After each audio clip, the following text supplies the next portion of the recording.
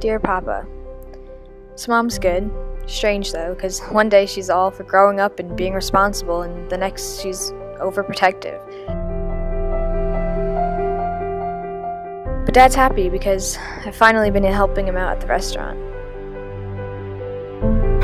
My daddy big pizzeria.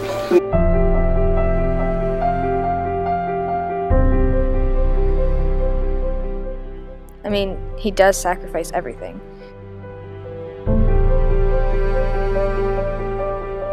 Oh, and there's Ari. She's graduating college.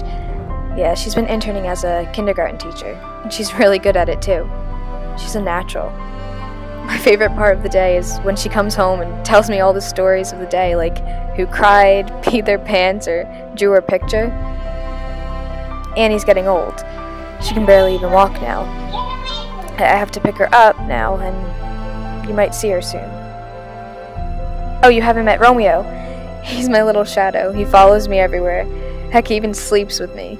Alright, just uh, Let me see your hands. Uh, I, oh, I should probably talk about myself. Uh, so I'm graduating too. Yeah, it's crazy. Moving into the city that next year, which is where you grew up. I'm terrified, but I'll be doing what I love, studying musical theater. And yep, I'm still dancing. Well, it's not like I ever stopped. I need it in my life. I feel like it expresses me in a way, you know? I don't know. It sounds stupid.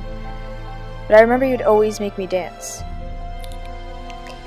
I really don't know what else to say. I mean, it sucks that we never got a chance to, you know, know each other. I wish you could see me now, all grown up.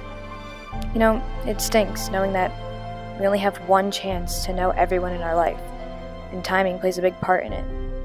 Tried his best. Alright, so do it again. Oh, you smart. they pretty much all wrote the same thing because they're in kindergarten. No, wait, wait, wait. I love you, Grandpa Ray.